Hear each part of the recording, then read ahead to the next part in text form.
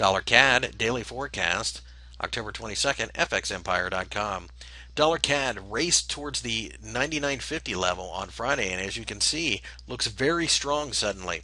This level is an area that we need to pay attention to because it is quite frankly the gateway to higher prices to the 104 handle, as it would be a re entry into the previous consolidation area.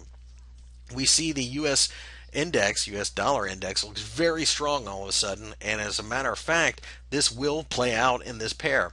Oil also has an influence as well. So higher oil prices, lower pair, lower oil prices, higher pair. So keep an eye on that also. If we can get through parity, 104 looks like it will be our target. However, we want to wait until the daily close as we could get a nice resistive candle here, which would signal a move back down to the lows. Either way, wait until the day closes. We suspect that Monday evening we will have a fairly clear and concise trading signal.